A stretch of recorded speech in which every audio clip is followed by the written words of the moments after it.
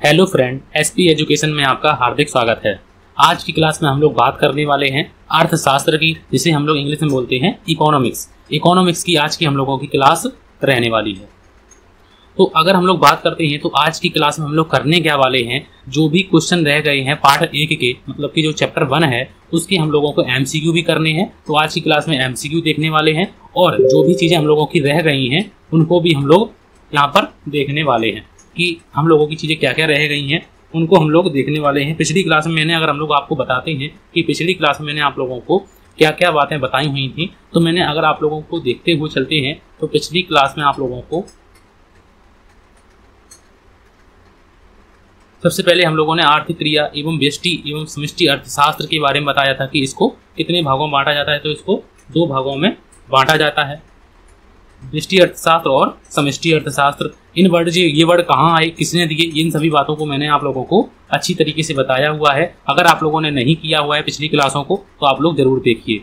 उसके बाद हम लोगों ने व्यष्टि अर्थशास्त्र और समष्टि अर्थशास्त्र को बताया। फिर उसके बाद मैंने आप लोगों को व्यष्टि अर्थशास्त्र के विशेषताएँ बताई कि अर्थशास्त्र की क्या क्या विशेषताएँ होती हैं। उनको अच्छी तरीके से बताने के बाद मैंने आप लोगों को व्यष्टि अर्थशास्त्र के क्षेत्र या शाखाएँ बताई कि व्यष्टि अर्थशास्त्र के क्षेत्र या शाखाएँ क्या क्या होती हैं, उनको आज हम लोग यहाँ पर देखने वाले हैं कि व्यष्टि अर्थशास्त्र के क्षेत्र की शाखाएँ क्या क्या होती हैं, उनको हम लोग आज देखने वाले हैं। तो सबसे पहले इसमें लिखा हुआ है कि व्यष्टि या सूक्ष्म अर्थशास्त्र। सूक्ष्म अर्थशास्त्र के क्षेत्र में क्षेत्र में निम्नलिखित तीन प्रमुख सिद्धांत जो हैं, वो इसमें सम्मिलित किए जाते हैं। वो तीन सिद्धांत कौन कौन से हैं तो वो आप लोगों को अच्छी तरीके से मालूम होने चाहिए कि पहला जो सिद्धांत है, उसे क्या कहते हैं। अगर पहले सिद्धांत की बात करते हैं तो पहले सिद्धांत को कहते हैं वस्तु कीमत निर्धारण सिद्धांत। इसमें क्या होता है, इसको अभी हम लोग पढ़ने वाले हैं। दूसरा जो सिद्धांत होता है, साधन कीमत निर्धारण सिद्धांत। इसको भी अभी हम लोग पढ़ेंगे। और जो तीसरा सिद्धांत होता है, आर्थिक कल्याण का सिद्धांत, इसको तीनों को हम लोग अच्छी तरीके से देखने वाले हैं। अगर हम लोग इनकी बात करते हैं तो वस्तु कीमत निर्धारण सिद्धांत। अगर हम लोग फ़र्स्ट नंबर की बात करते हैं, फ़र्स्ट नंबर में लिखा हुआ है कि वस्तु कीमत निर्धारण सिद्धांत में यह विवेचना की जाती है कि उपभोग की वस्तुओं की कीमतों का निर्धारण किस प्रकार किया जाता है या किस प्रकार होता है। तो इसे क्या कहते हैं? तो इसे वस्तु कीमत निर्धारण सिद्धांत कहते हैं कि जो वस्तुएँ हम यूज़ करते हैं, जो वस्तुएँ हम प्रयोग करते हैं, उनकी कीमत क्या रहेगी? उनकी जो कीमत रहेगी, उसका हम लोगों को निर्धारण करना पड़ेगा। तो इसीलिए इस सिद्धांत को क्या नाम देते हैं? तो इसीलिए इस सिद्धांत को कीमत निर्धारण कीमत निर्धारण सिद्धांत कहते हैं। इसीलिए क्योंकि इसमें वस्तु की कीमत का निर्धारण किया जाता है तो इसलिए इसे कीमत निर्धारण सिद्धांत कहते हैं। दूसरे सिद्धांत की अगर हम लोग बात करते हैं तो दूसरा है साधन, कीमत निर्धारण सिद्धांत। साधन कीमत निर्धारण सिद्धांत में क्या बात कही जाती है? तो इसमें यह विवेचना की जाती है, इसमें यह विवेचना की जाती है कि जो हमने उत्पादन किया है, जो वस्तुएँ हमने बनाई हुई हैं तो उसके लिए हमने कितना रुपए दिया है? तो इसमें यह विवेचना की जाती है कि वस्तु उत्पादन में प्रयोग किए जाने वाले उत्पत्ति साधनों की कीमतों, अर्थात उनके पुरस्कारों का निर्धारण किस प्रकार किया जाता है? निर्धारण किया जाता है। और तीसरी जो है, सिद्धांत है, जो तीसरा सिद्धांत है, वो है आर्थिक कल्याण का सिद्धांत। आर्थिक कल्याण का सिद्धांत क्या कहता है कि सूक्ष्म आर्थिक सिद्धांत का एक महत्वपूर्ण केंद्र बिंदु है, जिसमें यह अध्ययन किया जाता है कि वस्तु एवं सेवा की दी गई मात्रा को अनेक उपभोक्ताओं पर किस प्रकार विभाजित किया जाए या फिर आवंटित किया जाए कि आर्थिक कल्याण अधिकतम हो जाए। तो पहली जो है सिद्धांत में हम लोगों ने क्या सीखा कि पहले सिद्धांत जो है वो कीमत से संबंधित है कि हम कीमत वस्तु की कितनी रखें। अब वस्तु की कीमत रखने के बाद जो हमने साधन जो हमने वस्तु की कीमत की, वस्तु बनाई हुई है, उसको, उसमें जो है साधन लगाए हुए हैं। साधन लगाए हुए हैं। उन पर कितना खर्च करें और उनका निर्धारण कैसे करें, उनको पैसा कितना दें और उसके बाद जो है, जो वस्तुएँ हमने बनाई हुई हैं, उनको आवंटित कैसे करें, उनको अलॉटमेंट कैसे करें कि सभी का आर्थिक कल्याण हो जाए तो इसको हम लोग तीन सिद्धांतों में, इनको हम लोगों ने बांट के रखा है। अब बात आती है कि इसमें हम लोग क्या क्या बात करते हैं तो वस्तु जो है, एक सेकेंड। वस्तु वस्तु, कीमत सिद्धांत। वस्तु, कीमत सिद्धांत। वस्तु, कीमत सिद्धांत में हम लोग क्या क्या शामिल करते हैं तो वस्तु जो कीमत सिद्धांत है, वो दो भागों में बांटा जाता है। अब वो दो भाग कौन कौन से हैं? तो पहला है मांग का सिद्धांत। मांग का सिद्धांत। मांग का सिद्धांत। और दूसरा जो है, वो क्या है? तो दूसरा है लागत। लागत तथा उत्पादन का सिद्धांत। लागत तथा उत्पादन का सिद्धांत। तो ये दो सिद्धांत हैं कि वस्तु जो है, पहला जो सिद्धांत है, वो है वस्तु कीमत सिद्धांत। अब वस्तु कीमत सिद्धांत को दो भागों में बांटा गया है कि मांग का सिद्धांत और लागत तथा उत्पादन का सिद्धांत। उसके बाद जो तीसरा है, सो दूसरा जो है, उसे बोलते हैं साधन कीमत निर्धारण सिद्धांत। उसे क्या कहते हैं? तो दूसरे वाले को कहते हैं साधन साधन कीमत। साधन कीमत निर्धारण। साधन कीमत निर्धारण सिद्धांत।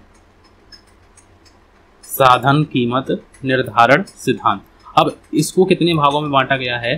तो इनको चार भागों में बांटा गया है जो साधन लगे हुए होते हैं तो उन्हें मजदूरी कहते हैं। मजदूरी।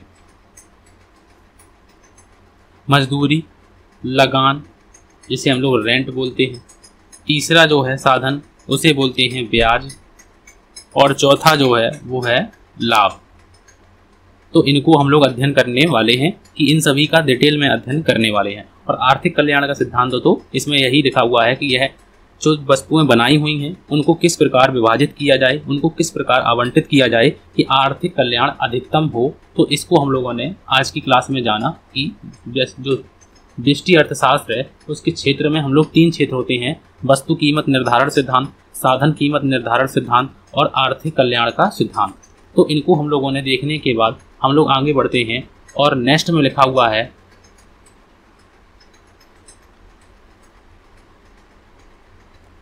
व्यष्टि अर्थशास्त्र के अध्ययन का महत्व। कि व्यष्टि अर्थशास्त्र का महत्व क्या है? कि इसको हम लोग अध्ययन क्यों करते हैं? तो ये पॉइंट जो मैंने लिख रखे हैं आप लोगों के लिए इनको आप लोग अच्छी तरीके से देखिए कि ये पॉइंट आप लोगों को अच्छी तरीके से समझ में आने वाले हैं। सबसे पहला एक पॉइंट लिखा हुआ है, एक नंबर, कि ये जो व्यष्टि अर्थशास्त्र का जो हम लोग अध्ययन करते हैं, कि संपूर्ण अर्थव्यवस्था के ज्ञान के लिए आवश्यक है कि अगर यदि हमें संपूर्ण अर्थव्यवस्था का ज्ञान चाहिए तो हमें व्यष्टि अर्थशास्त्र के बारे में जानकारी होना आवश्यक है। दूसरा जो महत्व है, वो लिखा हुआ है कि व्यवहारिक अर्थशास्त्र के ज्ञान में सहायक तो ये दूसरा लिखा हुआ है। और तीसरा जो महत्व लिखा हुआ है कि आर्थिक नीति के निर्धारण में सहायक, कि आर्थिक नीतियाँ के निर्धारण में ये सहायक होता है। और चौथा जो है, वो है पूंजीवादी प्रणाली की, पूंजीवादी प्रणाली की, कार्य प्रणाली के ज्ञान में सहायक। और पांचवा जो है, वो है आर्थिक समस्याओं के निर्णय में सहायक।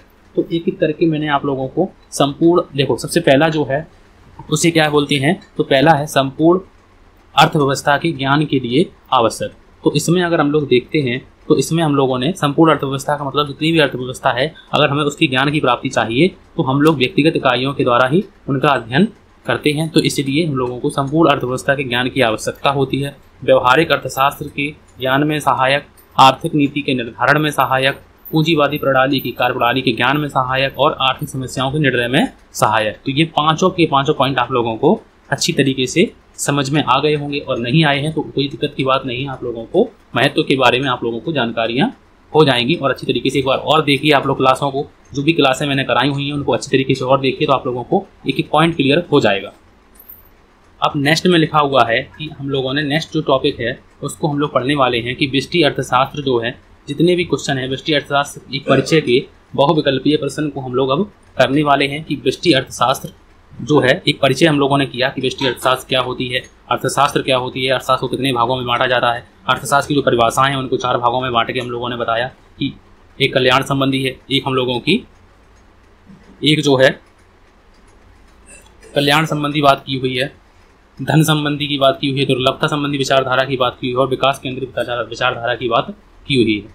तो सबसे पहला सबसे पहला नंबर क्वेश्चन लिखा हुआ है। क्वेश्चन नंबर एक की बात करते हैं और ये एमसीक्यू क्वेश्चन है। मल्टीपल चॉइस क्वेश्चन रहने वाले हैं कि समष्टि अर्थशास्त्र के अंतर्गत, समष्टि अर्थशास्त्र और व्यष्टि अर्थशास्त्र, दो अर्थशास्त्र होते हैं। समष्टि अर्थशास्त्र के अंतर्गत निम्न में से किसका अध्ययन किया जाता है? समष्टि अर्थशास्त्र में हम लोग किसका अध्ययन करते हैं? तो व्यष्टि अर्थशास्त्र में और समष्टि अर्थशास्त्र जो है, वो दो अर्थशास्त्र होते हैं। तो हम लोगों से पूछा गया है कि समष्टि अर्थशास्त्र में हम लोग किसका अध्ययन करते हैं?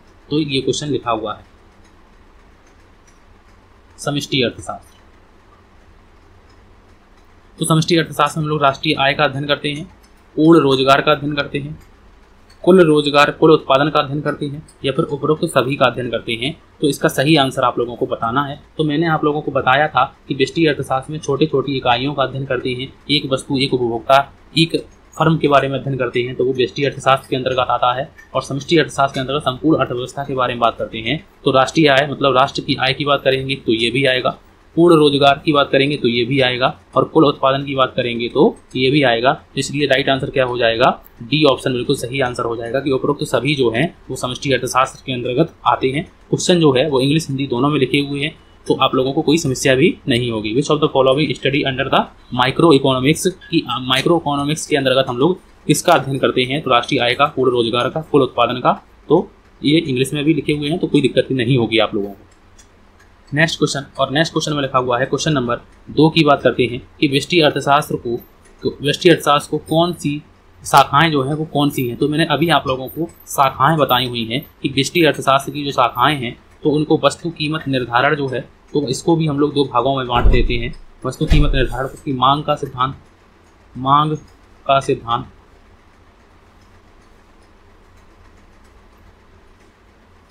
मांग का सिद्धांत और लागत तथा उत्पादन का सिद्धांत। लागत तथा उत्पादन का सिद्धांत। तो पहला सिद्धांत है कि वस्तु कीमत निर्धारण तो इसको भी हम लोग शाखाओं में शामिल करते हैं। साधन कीमत निर्धारण इसको भी हम लोग व्यष्टि अर्थशास्त्री शाखाओं में शामिल करते हैं और आर्थिक कल्याण तो इसको भी हम लोग शामिल करते हैं। तो राइट आंसर क्या हो जाएगा? राइट आंसर हो जाएगा डी ऑप्शन बिल्कुल सही आंसर हो जाएगा कि उपरोक्त सभी को हम लोग दृष्टि अर्थशास्त्र की शाखाओं के अंतर्गत रखा जाता है और वो मैंने अभी आप लोगों को बताई हुई है। उसके बाद नेक्स्ट क्वेश्चन और नेक्स्ट क्वेश्चन में लिखा हुआ है क्वेश्चन नंबर तीन की बात करते हैं। क्वेश्चन नंबर तीन कि उत्पादन के निम्न में से कौन से साधन होते हैं? तो उत्पादन के जो साधन होते हैं, अगर कोई वस्तु हम बनाते हैं तो उसके लिए हमें कौन कौन से साधन यूज़ करने पड़ते हैं? तो उनको बोलते हैं उत्पत्ति के साधन। तो उनको क्या बोलते हैं? उत्पत्ति के साधन। उत्पत्ति के साधन की बात करते हैं या फिर उत्पादन के साधन की बात करते हैं तो वो कौन कौन से होते हैं? तो भूमि तो भूमि, श्रम और पूंजी। तो ये तीनों के तीनों भूमि हम लोगों को चाहिए, श्रम भी हम लोगों को चाहिए, तभी उत्पादन कर पाएँगे और बिना पूंजी के तो कोई कार्य ही नहीं होता है। जिस प्रकार शरीर में रक्त का यूज़ होता है, ठीक उसी प्रकार से व्यवसाय में पूंजी का होता है, ये कहावत है ये। तो इसलिए राइट आंसर क्या हो जाएगा कि उत्पादन के निम्न में से कौन से साधन हैं? तो भूमि, पूंजी, श्रम, ये सभी जो हैं, उत्पादन के साधन होते हैं। तो इसलिए राइट आंसर क्या हो जाएगा? डी ऑप्शन बिल्कुल सही आंसर हो जाएगा। उसके बाद नेक्स्ट क्वेश्चन और नेक्स्ट क्वेश्चन में लिखा हुआ है कि क्वेश्चन नंबर चार में लिखा हुआ है कि माइक्रो माइक्रोज ये यहाँ पे थोड़ा सा इरर है, एक सेकेंड इसको थोड़ा सा, इसको हम लोग लिखेंगे माइक्रोज माइक्रोज जिसका अर्थ है छोटा, निम्न में से कौन सा शब्द है? निम्न में से कौन सा शब्द है जिससे माइक्रो माइक्रोज शब्द लिया गया है? तो अरबी शब्द से लिया गया है, अरेबियन वर्ड से लिया गया है, या फिर ग्रीक वर्ड से लिया गया है, ये ग्रीक लिखा हुआ है, ग्रीक। या ग्रीक वर्ड से लिया गया है, या फिर जर्मन वर्ड से लिया गया है, या फिर अंग्रेज़ी वर्ड से लिया गया है। तो माइक्रोज जो शब्द है, माइक्रोज जो शब्द है, वो किस वर्ड से लिया गया है? तो मैंने आप लोगों को बताया हुआ है और कराया हुआ है कि ये जो है तो वो किस शब्द से लिया गया है? तो ये ग्रीक शब्द से लिया गया है। तो इसका राइट आंसर क्या हो जाएगा? ग्रीक इसका बी ऑप्शन बिल्कुल सही आंसर हो जाएगा। यहाँ पर याद रखना है कि माइक्रोज का अर्थ होता है माइक्रोज का अर्थ जो होता है, उसे बोलते हैं छोटा। ठीक है, ये मैंने बातें बताई हुई हैं आप लोगों को। अगर आप लोगों ने नहीं देखी हुई हैं तो आप लोग ज़रूर देखें क्लासों को। प्ले लिस्ट आप लोगों की मैंने बना दी है। अब हम लोग बात करते हैं नेक्स्ट क्वेश्चन की, और नेक्स्ट क्वेश्चन लिखा हुआ है पाँच नंबर में। क्वेश्चन नंबर पाँच की बात करते हैं कि आर्थिक क्रियाओं के अध्ययन के संदर्भ में अर्थशास्त्र तो दो शाखाओं, बेष्टि और समष्टि में, निम्न में से किसने विभाजित किया है? किसने विभाजित किया? तो इसका सही आंसर आप लोगों को बताना है कि वो मार्शल साहब थे, या फिर रिकार्डो साहब थे, या फिर रेगनर फ्रिंस थे। रेगनर फ्रिंस की बात करते हैं, या फिर रेगनर फ्रिंस थे, या फिर इनमें से कोई नहीं। तो इसका जो सही आंसर है, वो आप लोगों को बताना है। तो इसका जो यहाँ पे लिखा हुआ है, इसको हम लोग यहाँ पे कट करके, ये टाइपिंग एरर है थोड़ा सा। रेगनर फ्रिस तो इसका सही आंसर आप लोगों को क्या बताना है? तो इसका सही आंसर ये भी मैंने आप लोगों को क्वेश्चन बताया हुआ था कि रेगनर फ्रेंस जो थे, वो कहाँ के थे? अगर आप लोगों को मालूम होगा तो वो कहाँ के थे? तो वो नार्वे के थे और नार्वे के अर्थशास्त्री थे, उन्होंने अर्थशास्त्र को दो भागों में बांटा था। तो वो दो भाग कौन कौन से थे? एक था बेष्टी अर्थशास्त्र, एक था बेष्टी अर्थशास्त्र, जिसे हम लोग सूक्ष्म अर्थशास्त्र कहते हैं। सूक्ष्म अर्थशास्त्र कहते हैं और एक था हम लोगों का समिष्टि अर्थशास्त्र और समिष्टि अर्थशास्त्र, जिसे हम लोग मैक्रो इकोनॉमिक्स कहते थे, मैक्रो। ठीक है? इसे हम लोग क्या कहते थे? मैक्रो इकोनॉमिक्स कहते थे। इसका सही आंसर क्या हो जाएगा? सी ऑप्शन रेगनर फ्रिंस ने अर्थशास्त्र को दो भागों में बांटा था। इस बात को याद रखिए। उसके बाद नेक्स्ट क्वेश्चन, और नेक्स्ट क्वेश्चन में लिखा हुआ है क्वेश्चन नंबर, अगर हम लोग सिक्स की बात करते हैं, क्वेश्चन नंबर सिक्स की, कि किसने कहा है? किसने यह बात कही है कि अर्थशास्त्र जो है, वो धन का विज्ञान है? अब धन का विज्ञान है तो अर्थशास्त्र को मैंने आप लोगों को बताया था कि अर्थशास्त्र की जो विषय सामग्री है, अर्थशास्त्र की विषय सामग्री। अर्थशास्त्र की अर्थशास्त्र की अर्थशास्त्र की विषय सामग्री। अर्थशास्त्र की विषय सामग्री। अब अर्थशास्त्र की विषय सामग्री को चार भागों में बांटा गया है तो वो चार भाग कौन कौन से हैं, वो मैंने आप लोगों को बताए हुए हैं। वो चारों भाग, पहली है कि धन संबंधी विचारधारा, धन संबंधी धन संबंधी विचारधारा, धन संबंधी विचारधारा। दूसरी जो विचारधारा है, वो है कल्याण संबंधी विचारधारा या कल्याणवादी विचारधारा। कल्याणवादी विचारधारा। कल्याणवादी विचारधारा। तीसरी जो विचारधारा है, वो है दुर्लभता दुर्लभता वादी विचारधारा। दुर्लभता संबंधी विचारधारा। दुर्लभता संबंधी विचारधारा। और तीसरी, जो चौथी जो विचारधारा है, वो है विकास केंद्रित विकास केंद्रित विकास केंद्रित विचारधारा। विकास केंद्रित विचारधारा।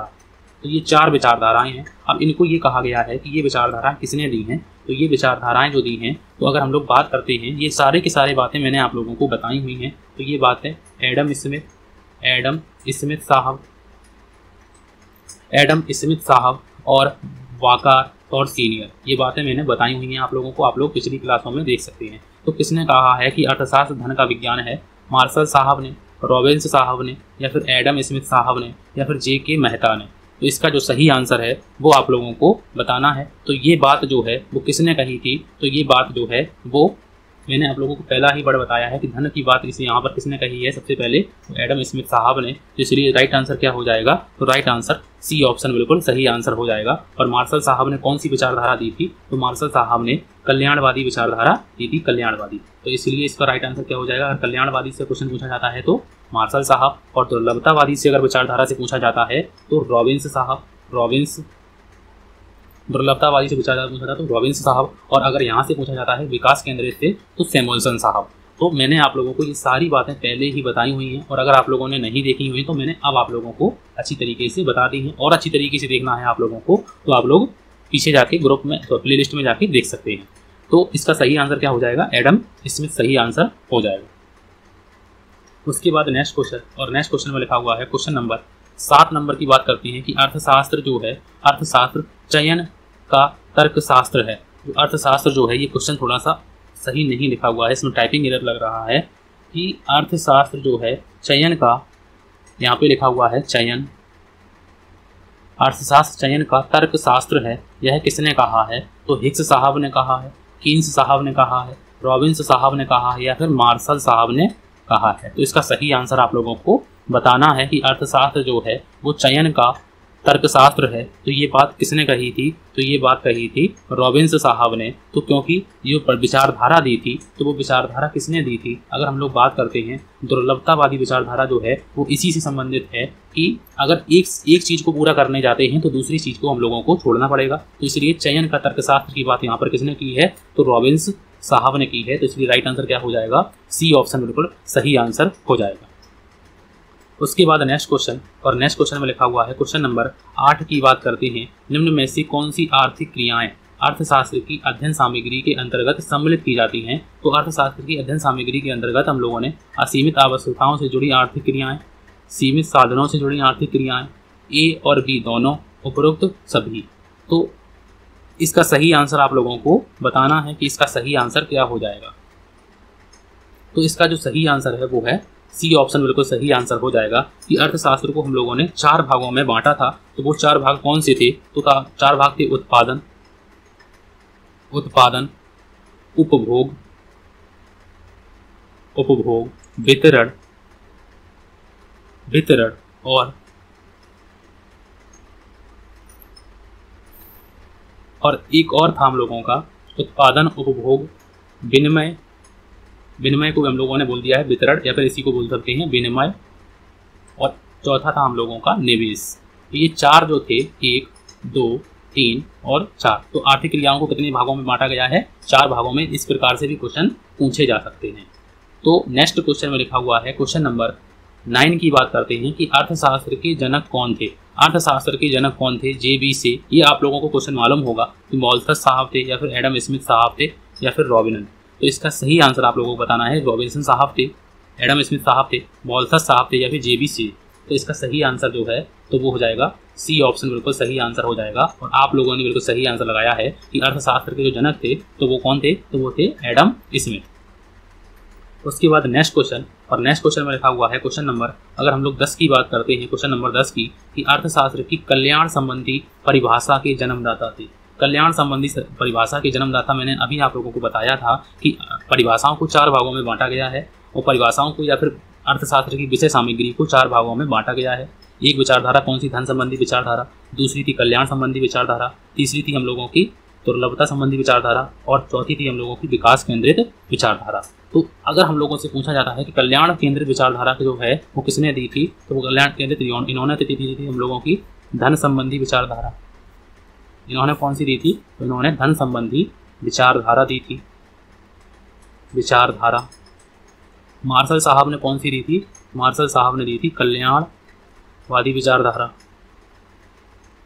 कल्याणवादी विचारधारा।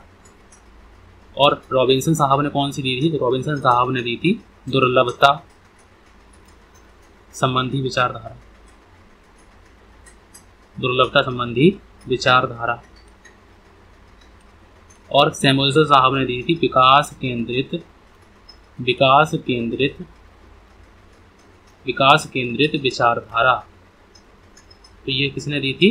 तो ये दी थी सैमुअल्सन साहब ने। तो मैंने इस प्रकार से क्वेश्चन के ऑप्शन लगाए हुए हैं कि आप लोगों को कोई दिक्कत ना हो। तो अर्थशास्त्र की कल्याण संबंधी विचारधारा के जनक कौन थे?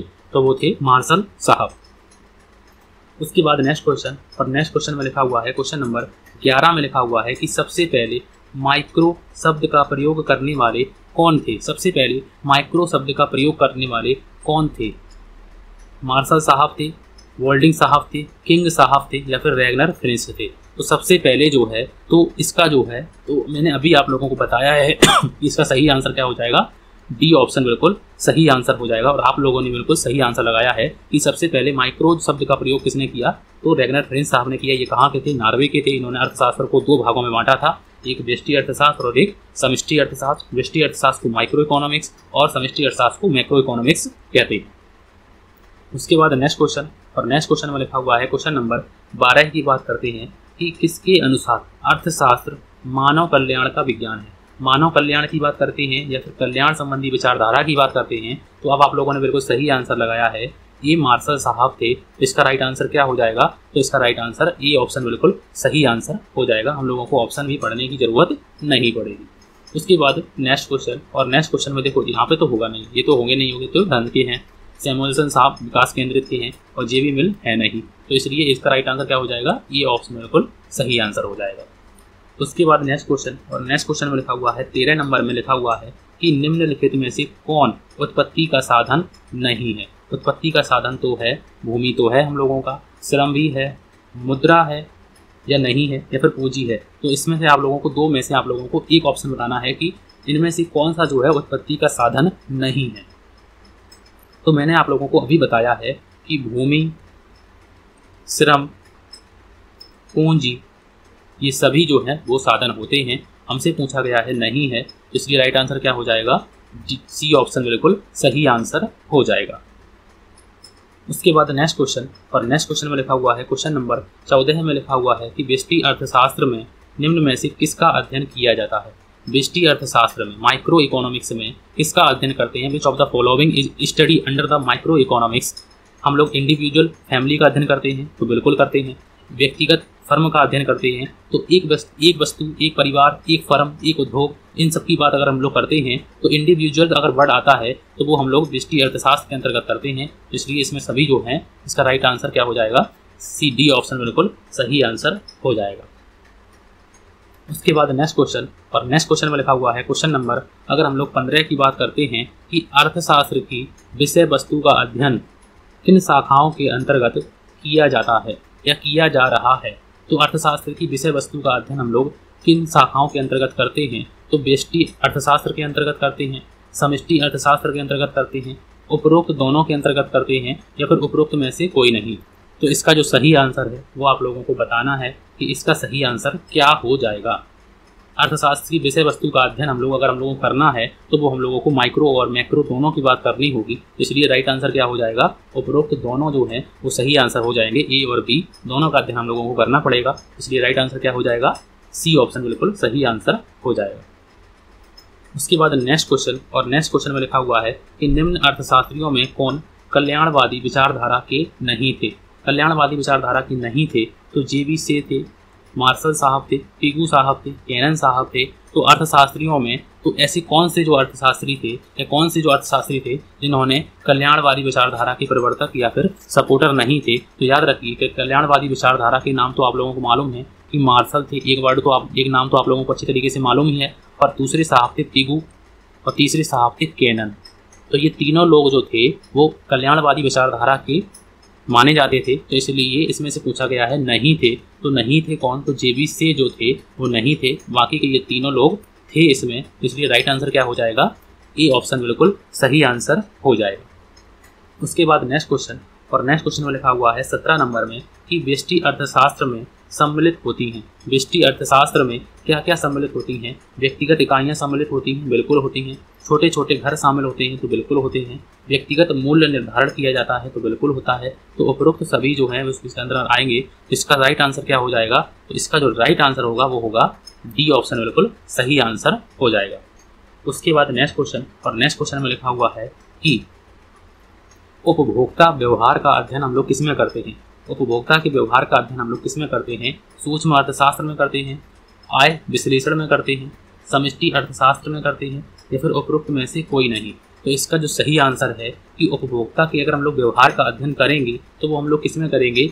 इसका सही आंसर आप लोगों को बताना है। तो इसका जो सही आंसर होगा तो वो होगा हम लोग सूक्ष्म अर्थशास्त्र में उसका अध्ययन करते हैं। तो अगर सूक्ष्म अर्थशास्त्र या फिर दृष्टि अर्थशास्त्र आप लोगों ने अगर अच्छी तरीके से पढ़ा होगा पिछली क्लासों में तो आप लोगों को बिल्कुल समझ में आ जाएगा। इसलिए हम लोग सही आंसर क्या हो जाएगा? ई ऑप्शन बिल्कुल सही आंसर हो जाएगा। और आज का हम लोगों का आखिरी क्वेश्चन लिखा हुआ है कि व्यष्टि अर्थशास्त्र के अंतर्गत निम्न में से किसका अध्ययन किया जाता है? व्यक्तिगत इकाई का अध्ययन करते हैं, आर्थिक सामग्री, आर्थिक समग्र का अध्ययन करते हैं, राष्ट्रीय आय का अध्ययन करते हैं। तो ये दोनों जो है वो हम लोग समष्टि अर्थशास्त्र के अंतर्गत अध्ययन करते हैं। इसलिए इसका राइट आंसर क्या हो जाएगा? ए ऑप्शन बिल्कुल सही आंसर हो जाएगा, क्योंकि हमसे व्यष्टि अर्थशास्त्र के अंतर्गत पूछा गया है। तो व्यक्तिगत की बात अगर हम लोग करते हैं, एक व्यक्ति, एक फर्म, एक उद्योग, एक परिवार के बारे में अगर हम लोग अध्ययन करते हैं तो वो व्यष्टि अर्थशास्त्र के अंतर्गत आएगा। और अगर राष्ट्रीय आय, राष्ट्र, सकल घरेलू उत्पाद तो इन सभी बातों का अगर अध्ययन करते हैं तो वो समष्टि अर्थशास्त्र के अंतर्गत आता है तो ये बातें आप लोगों को अच्छी तरीके से मैंने पूरी बताने की कोशिश की है। अगर आप लोगों को नहीं समझ में आया है तो आप लोग दोबारा से वीडियो देखिए। और अगर फिर भी समझ में नहीं आता है तो आप लोग कमेंट कीजिए, मैं आप लोगों के लिए कुछ और तरीके से और अच्छी तरीके से आप लोगों की बनाने की पूरी कोशिश करने वाला हूँ। मैंने पूरी कोशिश की हुई है आप लोगों को समझाने की। अगर आप लोगों को वीडियो अच्छा लगता है तो प्लीज़ आप लोग लाइक ज़रूर कर दिया करें।